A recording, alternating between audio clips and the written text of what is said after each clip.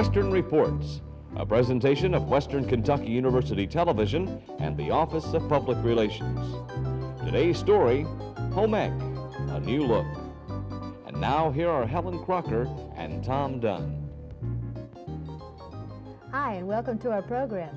By way of introduction, Tom and I would like to explain that today's show for the whole family. And not about an area that's just for girls anymore either. Something that we guys can talk about too. Well, that's true, Tom, and with Dr. William Floyd as department head, it's obvious that home ec is not just for girls anymore.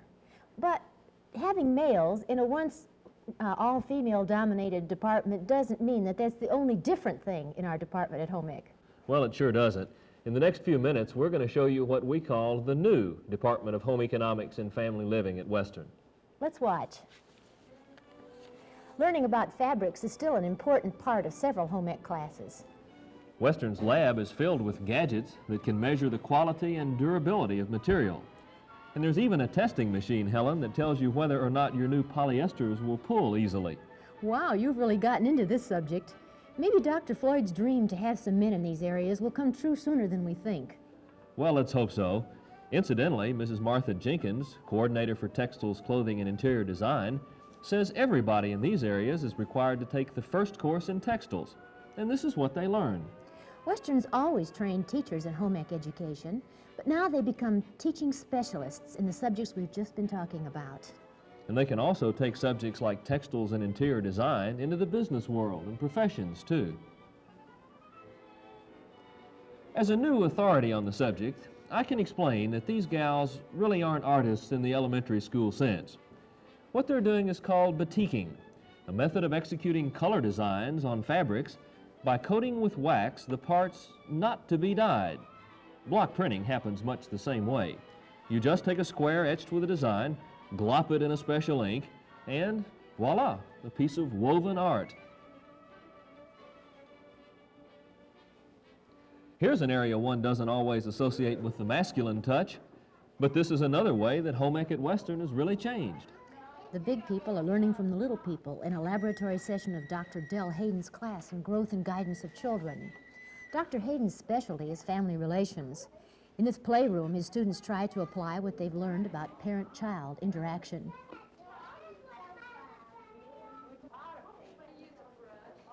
Now this is what I call an ideal way to treat an academic subject, Helen. The students say it doesn't seem like work, and yet they're actually studying child development in a playroom atmosphere.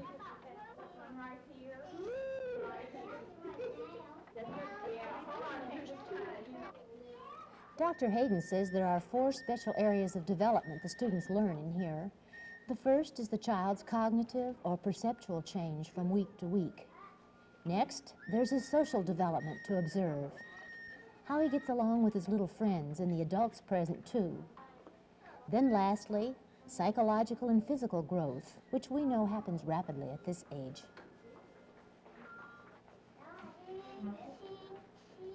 You know, there's lots of practical experience to be gained here in this obviously fun-filled laboratory.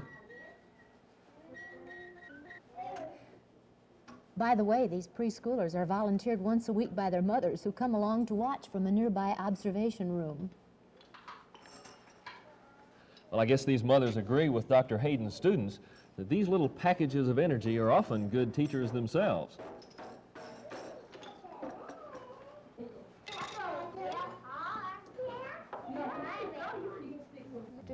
And now let's take a look at the grown-ups in the family. Dr. Roy Hedges is a family specialist at Western. He emphasizes child development and marriage and family counseling. His job is to prepare students to work in child welfare, marital, or premarital counseling. Let's observe an initial marriage counseling session with Dr. Hedges. He's dealing with a typical family problem today. Get up, uh, who gets up first, um, who uh, dresses first, and, and just kind of replay it in your mind. Uh, that seems to have little to do with our problem, Dr. Hedges. How, did, how could that possibly relate to the fact that my wife is is, is literally making a sissy out of our oldest boy. As a final note, Helen, Dr. Hedges tells me that in marriage counseling today, the client is the relationship and not the individuals themselves. That's an interesting thought, isn't it? Well, yes, Tom, and spoken as a true sociologist. It's pretty obvious that cooking and sewing just do not tell the whole home ec story anymore. Well, as a matter of fact, I didn't see any cooking at all in the film, but uh, I'm sure in home ec and family living they do some cooking. Is what you're trying to tell me that for the male student at least, maybe cooking is the most important part of our home ec department? Well, I think it is, and uh, I really don't want to be kidded too much about this uh, apron that I brought with me today. oh, Tom, I have no doubt you're a great cook. Well, thank you. Uh, I am a great cook, as a matter of fact, and uh, most of the world's great cooks have been men. But do we have to eat it? well, that's been our show for today. We hope you've enjoyed it. Well, I know I've enjoyed it, and uh, if you'll excuse me now, I think I have some grocery shopping to do. Goodbye. Goodbye, Tom.